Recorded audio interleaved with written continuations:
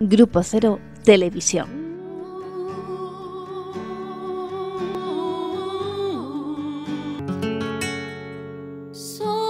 Soy casi feliz, canción desesperada. ¿Qué Y tal? festejo Aquí estamos de nuevo. Con nu- nuestro- Ay, con, con nuestro movimiento empezamos matutino. Con estas cosas, que si voy, que si vengo, que si me caigo, que si voy para allá, que si vengo para acá. Bueno, pero aquí estamos eh, con nuestros talleres de psicoanálisis gratuitos, psicología del día a día. Y hoy vamos a hablar de un tema del narcisismo en la pareja. Sí, Porque en tanto en la pareja en sí como en cada uno de los integrantes de la pareja se da el narcisismo de una manera muy exagerada, ¿verdad? claro, claro. Sobre todo en, en esas parejas que mm, pelean tanto, que están todo el tiempo en discusión, eh, que no se entienden, que dices, es que hablamos y- y no nos entendemos.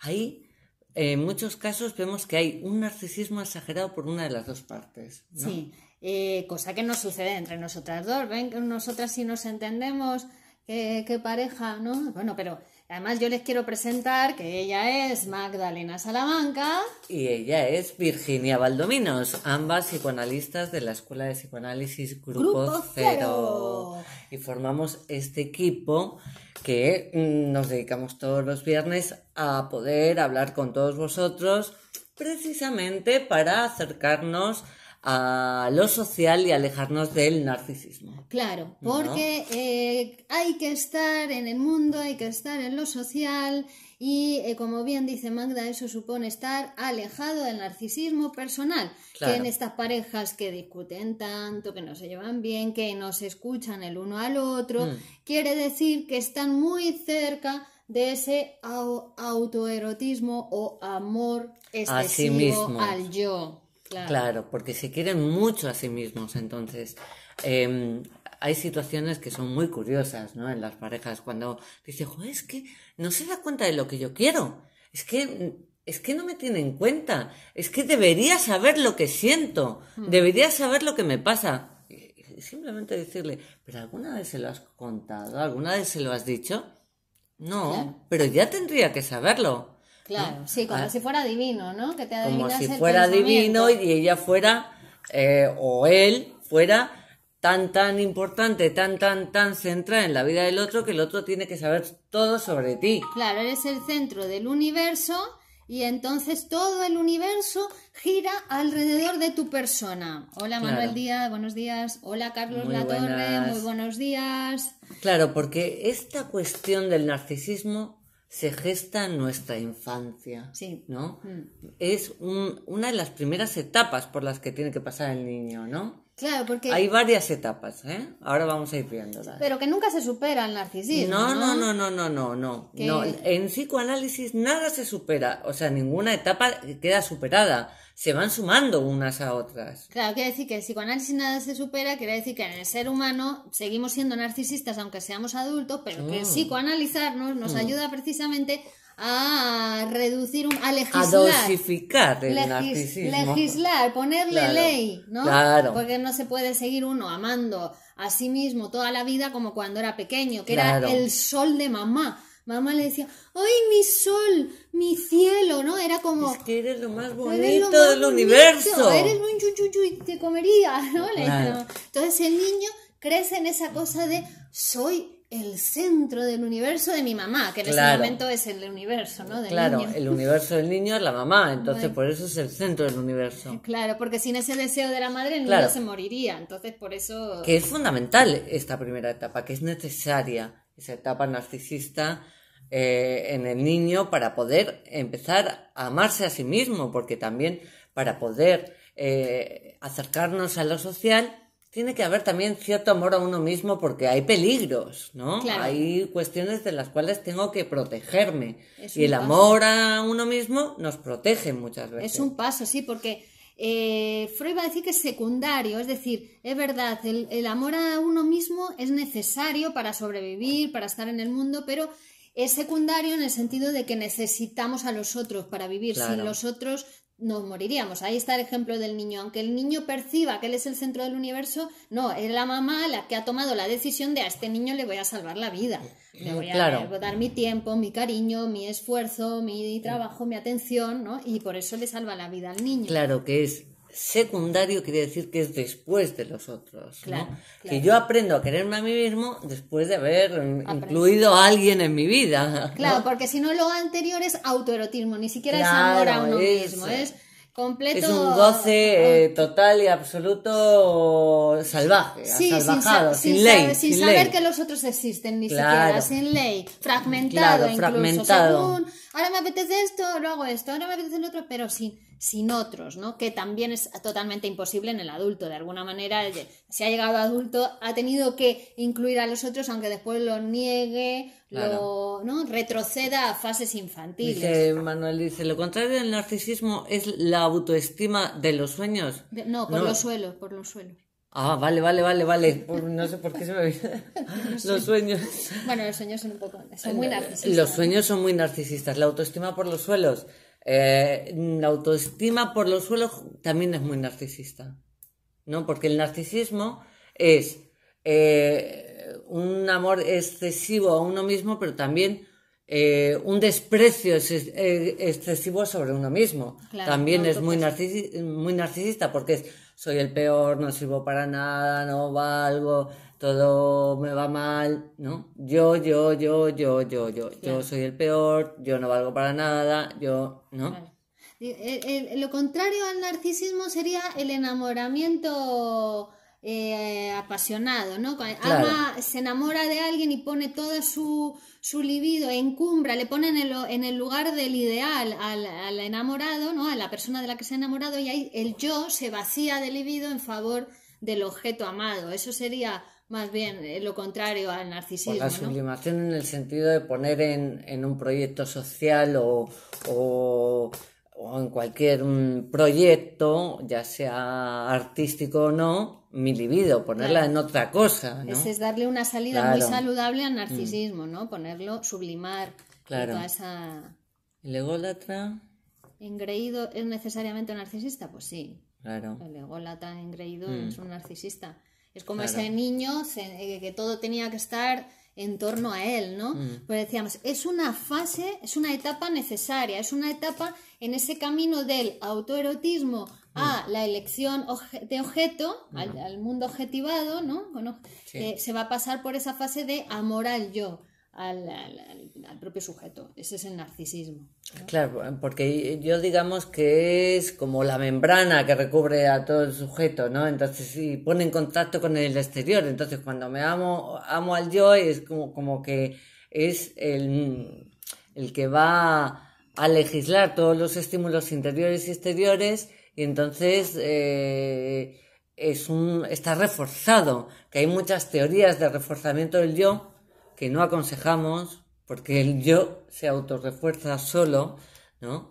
Y entonces eh, se trata más bien de aprender a amar a los otros, nosotros eh, sin dejar de amarse a uno mismo, porque no, no es que por amar a los otros tengo que dejar de amarme yo, que eso también es importante, porque pasar de amarme yo totalmente a amar al otro totalmente y perder mm, toda des- descentralizarme, no, no es lo sano. Claro, el ¿vale? enamoramiento no lo sano. El amor a los Claro. otros es bueno en- porque cuando rodeamos con nuestra libido a los otros, a los objetos, después la libido cuando vuelve al yo viene cargada de energía. Eso nos da energía, eso nos Claro. Da... Pero eso es otra cosa, es el amor, no es el enamoramiento ese enfermizo donde pones en un pedestal Claro. a la persona de la que te enamoras y eh, eh, tiene todas las cualidades que tú querrías y tú eres una cagada. ¿no? Bueno, a nosotros nos pasa, cada vez que terminamos de dar un taller de estos, salimos como Claro. energizadas. Claro, ¿no? porque en ese movimiento libidinal, del Claro. libido de, eh, de rodear a los objetos, envolver a los objetos y volver a yo, que ese es el, Mm. el movimiento que hace nuestra libido, nuestra energía sexual, Claro. ¿no? Pues ahí el yo se enriquece. Mm. En ese sentido, el narcisismo secundario, Mm. porque vuelve la energía al yo. Pero sí, claro, si uno se queda en ese yo, yo, yo, yo, yo y no sale del yo, no se ocupa, no le interesan los otros, no le interesa el mundo, no le interesa ninguna actividad, no le interesa, pues ahí se enferma, se acaba enfermando porque esa libido detenida, esa libido narcisista que no se mueve, ¿no? Pues Mm. da también da lugar a enfermedades y muy graves algunas. Y muy graves, exactamente. Claro. Entonces, bueno, que el narcisismo es necesario, pero como siempre en el aparato psíquico es una cuestión de cantidad. Claro. Todo está regulado por cantidades, ¿no? La cantidad es lo importante para el aparato psíqui- psíquico, no la, cal- No la la cualidad, ¿vale?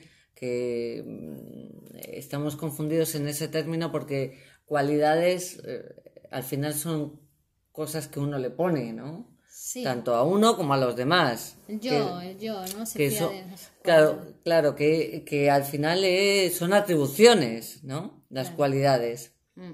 ¿no? Sí, pero lo que impacta y lo que transfo- produce transformación en el aparato psíquico es la cantidad. Mm. La cantidad. de cantidad, ¿no? Mm. Y, y en la pareja, claro, ¿esto cómo se refleja? Pues como comprenderéis, si, do- si hay dos personas, si son muy narcisistas las dos, pues eso no tiene mucho, mucho Futuro. futuro, ¿no? Porque son como... Bueno, también es como una competición, en- entran en competición a ver quién es más yo, yo, yo, yo. Sí, ¿no? Porque eso yo, pasa en muchas parejas, pero, ¿no? mm, Que claro. compiten el uno con el otro y se Claro. envidian y se ponen las zancadillas. Yo tengo esto y yo quiero e- y yo tengo esto más y yo tengo esto. Siempre es tengo no tengo, ¿no? Tengo, no tengo, es eh. una cosa de fálica Sí, también. es una cosa fálica. Pero bueno, digo que en las parejas mucho narcisismo pues impide que haya una buena relación sin ninguna duda. O sea, sin ninguna duda. ¿no? Claro, claro. Y, y- y a lo mejor muchas parejas también se entienden y permanecen eh, en el tiempo unidas porque uno es muy narcisista y el otro. ¿no? Digo que como que se compensan, ¿no? Mm. Como el obsesivo y la histérica, pues el excesivamente narcisista y la otra persona que el, la enamorada, ¿no? Del Claro. narcisista, que le atribuye cosas que no tiene, ¿no? O el enamorado de la narcisista. O el enamorado ¿no? de la narcisista, sí. ¿no? Que son personas que se ocupan mucho de sí mismos, que se cuidan Mm. mucho, que hacen mucho trabajo para sí mismos. ¿no? En vez de trabajar para el mundo, trabajan para sí mismos. Claro, bueno, y eso ya por lo menos ya hacen un trabajo, pero hay otros narcisistas que ni siquiera trabajan, o sea, que se quedan detenidos en esa cosa fanta- Claro. fantástica, ¿no? Sí. Fantasmática. Que ni siquiera hacen trabajo porque son tan, tan, tan perfectos y se quieren tanto, tanto a sí mismos que ni siquiera tienen, hacen un trabajo para, para estar mejor o bien o, o para progresar, ¿no? Claro, y aparece el delirio, los Tan- delirios de claro. engrandecimiento, ¿no? Es Claro, que yo soy, exactamente. yo soy y no es nada. Soy la más guapa, la más bonita, la más inteligente. Soy el que más sabe de no sé Claro. qué, porque le ha leído, ni siquiera ha leído, porque su mamá le dijo cuatro frases al respecto. Claro, lo que pasa con el narcisista es que no se le puede decir nada. No acepta nada. Normalmente una persona muy narcisista cree que lo ha conseguido todo solo y además eh, cualquier corrección es como un ataque, ¿no? Se defiende como si le estuvieras atacando, ¿no? A él, ¿no? Sí. Personalmente, no lo que piensa, Claro. lo que hace. Estas parejas que decís, no, digo que es... Mucho. Bueno, está bien. ¿Qué ocurre precisamente de lo que estás hablando si son dos personas narcisistas y que solo se atraen sexualmente? Pues nada, que tienen que aprovechar eso y nada más. Claro. Y el resto del tiempo hacer su vida. Encontrarse Claro. sexualmente y luego ya ahí, chao.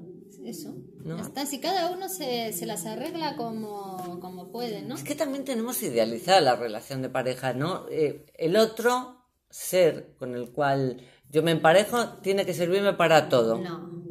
Como puede si fuera mi ser. mamá. Como Y de si nuevo es mi una cosa mamá, más claro, Como si fuera mi mamá que me satisfacía todas las necesidades. Estoy buscando esa relación narcisista, porque no, no olvidemos que el ser humano no renuncia a ningún goce conocido. Entonces, una vez que ha estado con mamá aquí, que mamá le ha dado todo, todo, todo, todo, pues es eso, ese, ese momento, ves que yo acabo de ir a buscar a- en Virginia lo voy a buscar, intentar buscar todo el tiempo, todo el tiempo. claro, ¿Por y- qué? Porque me satisface Y buscan en la pareja a la mamá. a la mamá. Y claro, y al final acaba Lo con- peor es que hay parejas que se convierten en eso, Bueno, mamá y- eh, e hijo. Y viven así toda O la hija. vida, o un montón de años, ¿no? Siendo la mamá y el hijo, o la mamá y la hija, y viven así. O el papá. O el papá. O el papá y la hija, o el papá y el hijo y todo el día discuten, ¿no? También se ve, ¿no? En para- eh, Tanto en parejas homosexuales como en heterosexuales se ve Sí, constantemente este tipo de relaciones que son perversiones, ¿no? Dentro de la relación de pareja es una perversión, porque al fin y al cabo la relación de pareja es una relación eh, que se pacta de alguna forma para a través del amor, ¿no? Que no olvidemos que trabaja para la especie, es decir, que un- las parejas suelen juntarse o unirse para procrear, Para constituir familias y procrear la exactamente. eh, Aunque que luego no lo hagan, Aunque aunque luego no luego lo no lo hagan. pero ese claro. fin de eso. O aunque luego consigan construir proyectos sociales juntos, que también es- eso es una maravilla, ¿no? Eh, cada pareja es un mundo, cada pareja es única, así que cada pareja hay que estudiarla por separado, no podemos generalizar. Bueno, entonces estas parejas, eh, no sé qué es, he perdido el hilo. ¿Qué estaba diciendo? No sé, pero me gusta mucho eso de cada pareja es un mundo. Claro. ¿No? Porque cada pareja, Es igual que que, una persona, cada persona a es mí un también me mundo. gustó, por eso me quedé. Y hay que hacer un trabajo de para producir, Claro. ¿no? De una persona su diferencia, su, su, Claro. su, su, su- su heterosexualidad, su llegar al, al objeto, objetivado, ¿no? Al llegar al mundo, que eso, en una pareja también, da igual que sean homosexuales o heterosexuales, tienen que llegar a producir su diferencia sexual. Tienen que, ah, claro, entre ellos y como en- pareja. Y en ellos, ¿no? También, Claro. claro, en ellos y como pareja. Claro, Porque claro. si no, llega a ser una célula narcisística. Claro. Pero si llegamos a producir la diferencia sexual de cada uno y entre ellos como pareja, esa pareja puede ser, bueno, nos va a, sor- va a ser sorprendente, nos va a sorprender y cada pareja va a ser absolutamente diferente, ¿no? Mm. Que muchas parejas tienden a pensar, a equipararse al otro, o mira, esto le funcionó esto, a mí me puede funcionar también, ¿no? Se aconsejan unos a otros a veces. ¿no? Claro, Y no, es una complejidad la relación Claro, de pareja. claro. Es muy Sí, sí, sí. compleja, ¿no? Y también es una construcción, hay que hacerla. No es de cualquier manera, porque luego también vemos parejas que construyen la pareja, se casan, se van a vivir juntos o tienen hijos y ya dejan de trabajar para la Para la relación. ¿No? Empiezan a trabajar para sí mismos O para la y ella se está. va al gimnasio, él se va al pádel, no sé qué. pero- Claro, porque también hay una cosa de. En el sentido de que hemos dicho, como la pareja y la familia es una estructura pre-simbólica, ¿no? Que heredamos de los animales Sí. y tiene que ver con la procreación de la especie, pero claro, luego el sujeto psíquico es otra cosa. Cada uno puede hacer después un trabajo para, digamos, eh, sabiendo eso, ¿no? Y sabiendo esa sobredeterminación, hacer de su relación de pareja otra cosa. Producir el deseo. Claro. permanentemente trabajando para eso, ¿no? Para esa producción del deseo. Que sí, que ocuparse de uno, evidentemente, va a contribuir a que tú seas un sujeto deseante y, el y puedas enamorar al otro. Y el otro se enamore de ti, Pero mejor todo dicho, con ¿no? límite, todo con ga- eh, todo con límite, todo con límite. Todo es una cuestión, digo, porque también si te dedicas solo a ti, solo a ti, solo a ti, Claro. ¿no? Ve, es siempre con límites. Siempre hay que ir encontrando en cada relación la medida. Le he tomado la mano a esta relación, o le he tomado La la, mano, medida, ¿no? La medida es. Mira. ¿no? Claro. Claro, hay relaciones con las que uno puede mucho y hay relaciones con las que puede muy poquito. Ya está. Y no pasa nada. Claro, y además es ahora y no se sabe si esa relación se Claro. mantiene cómo va a ser después. Se va a transformar. No, porque todo se va transformando. A veces uno piensa que las cosas van a ser para siempre así, Sí. ¿no? Y entonces cae en ese prejuicio y quiere que sean de Mm. otra manera y se pega con, por aquí, por ahí, se pega cabezazos contra la pared queriendo que sea de otra manera y resulta que si trabaja eso tal como es, aceptando Claro. la realidad tal Mm. como es, la realidad se va transformando. Sí. No, es que es muy, es muy interesante. Pensamos que las situaciones son eternas porque queremos ser eternos. Eternas e inamovibles. Y toda relación tiene. es un. Es un conjunto de movimientos. Claro, son movimientos libidinales, ¿no? Tanto entre la pareja como fuera de la pareja, como con los hijos, ¿no? Una vez escuché, ¿no? Que lo sano para una relación es hacer cosas en pareja, hacer cosas en familia y hacer cosas individualmente, ¿no? Digo, dentro de... que es una simplificación de todo lo que hay que hacer, ¿no? Pero digo, que hay que tener deseos en todos los lugares puestos, ¿no?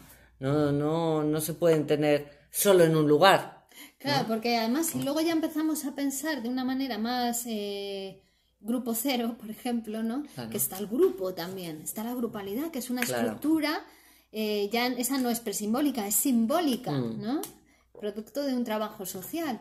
Y claro, las, las parejas, las familias que tienen grupo, son diferentes a las familias que no tienen grupo, Hmm, ¿no? También. claro. Porque te- la estructura simbólica ya también produce nuevas familias, produce parejas eh, distintas. Y el grupo es un legislador del narcisismo total, porque te va haciendo límite, ¿no? Te va legislando el narcisismo, tener, ser, ser grupo, ¿no? Tener compañeros, Hmm, te legisla el narcisismo, pero el narcisismo siempre va a estar, siempre va a querer imponerse, siempre hay una tendencia en el sujeto a regirse por el principio del placer, a negar a los otros, a creerse el centro del universo, ¿no? Es como una cosa económica del aparato psíquico, hmm. que, ¿no? que el psicoanálisis va, va a Claro, que el límite es muy frágil, ¿no? Que uno también dentro de los grupos eh, quiere imponerse, ¿no? Muchas veces. Vemos cómo pasa eso en los grupos, que hay personas que se quieren imponer o hay personas que jamás aparecen, ¿no?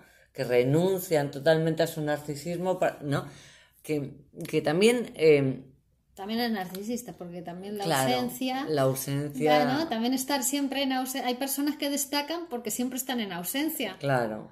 Es Sí, que, digo, porque estaba pensando el celoso, ¿no? Como, como, como el celoso, ¿no? Se siente aislado de... Se excluye, Se ¿no? excluye de, las- de la relación. Sí, Pero no por eso es menos narcisista, cuidado. claro. Sí, sí, sí. Porque Mm. en ese excluirse es, mm, ¿no? Mm. Me excluyo y me, me, me, me duelo y me quejo y me, ¿no? me quiero Claro. imponer, quiero dar lástima.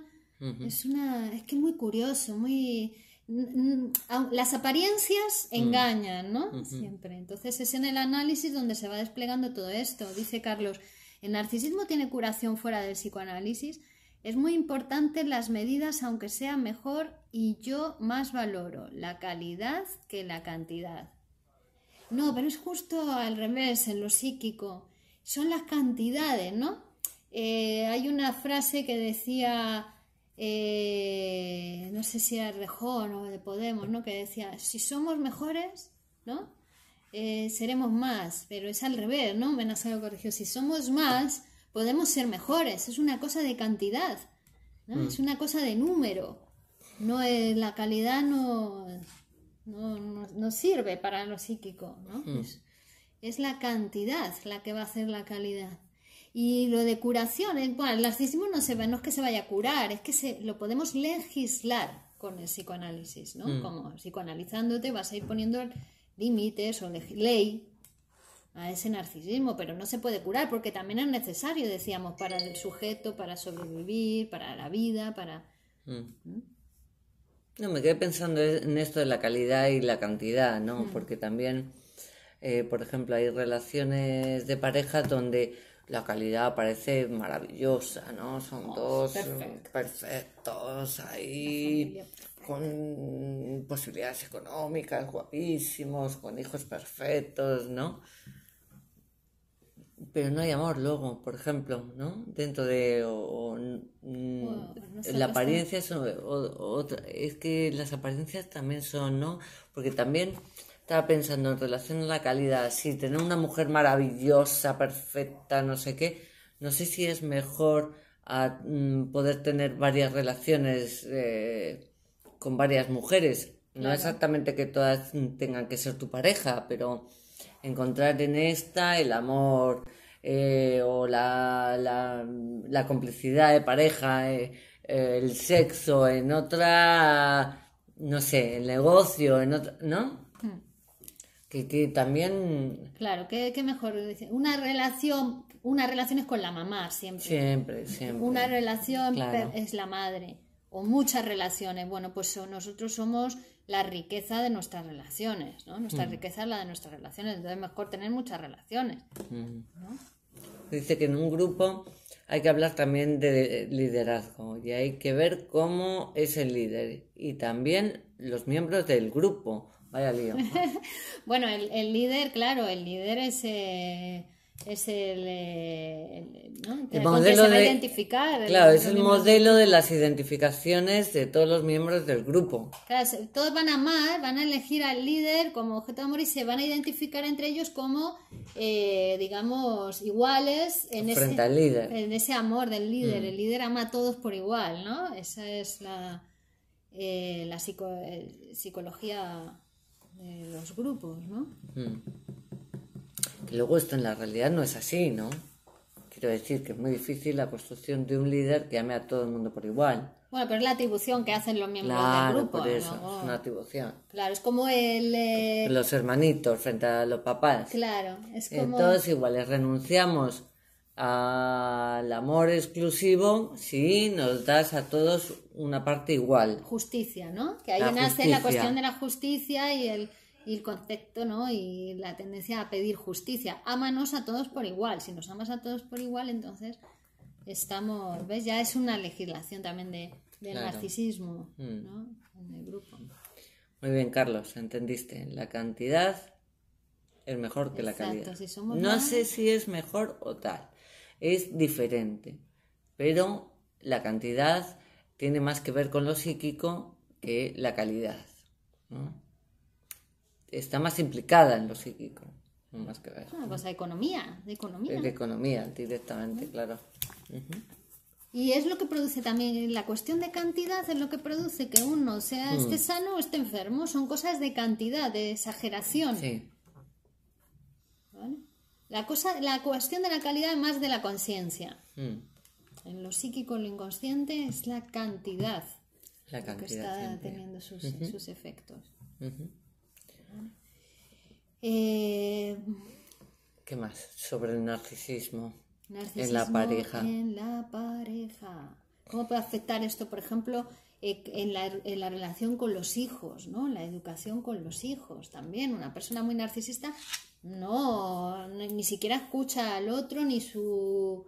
¿no? Ni, una mujer No, muy narcisista va a ser muy opaca para dejar pasar la, la ley del padre también. Claro, ¿no? ella a veces incluso eh, como la sociedad le impone eh, normas donde su narcisismo queda eh, pues limitado, ella va a buscar medios para conseguir ese narcisismo y a veces cree que, para- que es a través de los hijos que, que, que lo, que lo consigue aparentemente, entre comillas, porque el hijo no deja de ser una parte de sí misma. Entonces, esa atribución al hijo eh, es muy peligrosa, es muy peligrosa porque al final mm, hacemos creer al niño que es, o a la niña que es eh, más importante o tiene valores mucho mayores de los que tiene. ¿Por qué? Porque como ella quiere ser perfecta, ¿no? Hace eh, en el decir que, que el nene sea perfecto y justamente... eh, Bueno, claro, que el nene es su, su pijita. Claro, por Su eso pene. digo que es eh, a través del hijo a veces ella también refuerza su narcisismo eh, haciéndolo como parte suyo propio, ¿no? Claro, y muchas mujeres, eh, dice Freud eso, ¿no? Que Mm. mujeres narcisistas que parece que con el marido son frías, ¿no? Lejanas y tal, y que continúan ese narcisismo a través del hijo, Mm. ¿no? Entonces, los logros que después tienen los hijos, ¿no? Ella los resalta mucho, pero porque son como Mm. logros narcisistas, y ella, lo que ella no ha conseguido, ¿no? Lo consigue, Mm. consigue su satisfacción a través de, de los hijos. ¿no? A ver, aquí Manuel dice, vuelve a insistir en la cantidad. Me he debido perder porque yo creo que es más importante la calidad. Para la conciencia es más importante la calidad, por eso os perdéis. Claro, enseguida, enseguida queremos calidad. No estamos hablando de comida, estamos hablando de, del aparato psíquico. Digo que es importante porque, claro, a veces hay cosas que la calidad es, es mejor que la cantidad, ¿no? Pero estamos hablando del aparato psíquico. Para el aparato psíquico, la cantidad es más importante que la calidad. Es la, cantidad es la que regula, ¿no? ¿no? La diferencia o la que nos aporta la discriminación entre eh, la normalidad y la patología. Claro. ¿no? Una persona mm, narcisista, en cierta medida, eso es sano para la salud, para cuidarse, para no quemarse la mano, para no caerse por la ventana a la calle, ¿no? Para cruzar el, el paso de peatones cuando está en verde, etcétera. Pero muy narcisista, pues ya está ahí el caldo de cultivo para una psicosis, para un delirio, para ¿por qué? Por exceso de narcisismo, Claro. ¿no? Alejamiento de la realidad. Mm. Y muy poco narcisista también, eso también da, da problemas, ¿no? ¿Qué ocurre si ese líder se autoimpone o no es elegido por la mayoría? Habrá conflictos. Entonces no es un líder, eso ya es una, un dictador. dictador, o- claro. Eso no es un líder. El líder lo, la lo- lo característica del produce líder, claro, la- grupo. precisamente la característica del líder es que no se impone. Claro, ¿ves? es una atribución que le hacen Claro. los miembros del grupo. Ya entiendo lo que dice Virginia muchas veces. ¿Cómo? Ya entiendo, lo que dice Virginia muchas veces. Vale, Vale, vale, vale. claro. Eso. ¿Ves? Pero ves, hay que decirlo muchas veces. Claro. Una cosa de Para cantidad, poder veces hay que entenderlo. repetirlo para poder entenderlo. Para que ¿no? aparezca la lucecita en uno, porque si no... Claro. Es como, eh, pero fijaos también, para el aprendizaje hay que repetir, ¿no? Dice, es que me lo estudié una vez, no me lo he aprendido. Repite, estudiatelo otra vez, Mm. estudiatelo otra vez, estudiatelo otra vez. Y cuando te lo has estudiado, ahí lo olvidas, ¿no? Ahí Claro. lo aprendes. Pero es una cosa de cantidad, de las veces que lo has estudiado, ¿no? O sea que la repetición también tiene que ver con esta cosa, ¿no? Eh, Se aprende por se repetición. aprende por repetición. Y también a través del error. Por eso que un narcisista cree que lo sabe todo. Ah, No puede aprender, claro, eso es otra dificultad. Tiene dificultades para el aprendizaje, para Mm. el crecimiento, porque como ya es perfecto, ¿Cómo se va a equivocar? ¿cómo se va a equivocar? Bueno, no tolera los, las equivocaciones Nada. Mm. nada, siempre han sido los otros, no admite esa equivocación que es necesaria para aprender. O sea, es una especie de, de- de Dios. Todavía no ha llegado a la... O bueno, ha llegado, Mm. pero pre- prefiere volver a ese punto donde se cree el centro del universo Mm. De, de mamá. También es una cosa para no aceptar la ley del padre, Sí. Mm. ¿no? Para no separarse de la madre, porque hemos dicho que en ese momento es toda una célula narcisista, esa unión con la madre Total. es una cosa muy narcisista, tanto para el niño como para la madre, Mm. porque ya también se siente completa en ese momento. Por eso tiene que entrar ahí el padre, tiene que entrar para separar esa Para célula. legislar. Para, legislar. Para poner orden. Para poner ley ahí, de, no, niño, tú al colegio, mamá, Claro, a mí. Y claro. si la madre ahí también le dice, "Ay, pero ¿qué dices? Yo que mi niño no me separe, pues ya está. Ya. Ya, tenemos un, una célula psicótica ahí. Claro. Claro, porque el narcisismo es el germen, ¿no? De patologías tan graves como la psicosis. Claro. Exactamente. Así que a entregarse al mundo. A entregarse al mundo, por Sí. favor. La primera vez que... Que, atiendes a algo, no te enteras de nada, pero con la repetición sí, lo haces tuyo. Claro. Así es. Me voy a traer las gafas el próximo día. Sí, pues muy chiquititas. Sí, son lindas, perdón. Bueno, pero así te acercas a la pantalla y parece que les das un beso. Así. Mm, mira qué bien. bueno, nada. Perfecto. Nos vemos el próximo día. Sí, sí, vamos a seguir el próximo viernes, como ya sabéis, todos los viernes. Ah, comparte, comparte, sí, venga, antes de, de Todo el mundo puede compartir si quiere. Bueno, claro, no seamos narcisistas, no lo queramos solo para nosotros, Claro, mamar, mamar, claro, mamar y no compartir. ¿Veis? Si somos más, podemos ser mejores. Mm. Si compartimos con más personas y cada vez más personas escuchan estas cosas, Mm. va- vamos a ser mejores todos, ¿no? Nuestro mundo va a ser mejor, por lo menos el nuestro, aunque no cambiemos todo el mundo, sí, el nuestro y tocamos a nuestras relaciones también. Ahí está, compartido. Bueno, así que. Y luego lo de la repetición tiene más migas. Hombre, sí. claro. Uf, claro, claro. Todo tiene más miga. Es uno de los cuatro conceptos fundamentales Mm. de Lacan. Acuérdate, Manuel. Un hombre solitario no es un hombre, dice Menasa en su poema, pero una persona solitaria por su narcisismo atroz conlleva problemas de salud mental solo corregidos por el psicoanálisis. Claro. Con el trabajo que uno tiene que hacer ¿no? en su psicoanálisis para poder llegar al mundo. Bueno, el grupo cero y el psicoanálisis es una vía que nos eh, impulsa, que nos facilita ese acceso al mundo. Claro, que nos abre muchas otras vías, ¿no? Para que cada Claro. uno construya su camino. de. No hay caminos iguales el uno al otro, son todos los caminos distintos. Claro. Y todos los seres humanos somos semejantes pero diferentes, todos. Exactamente. Nos vemos la semana que viene. Adiós amigos. Muchas Hasta el gracias. viernes. Buena semana. Buena semana. Chao.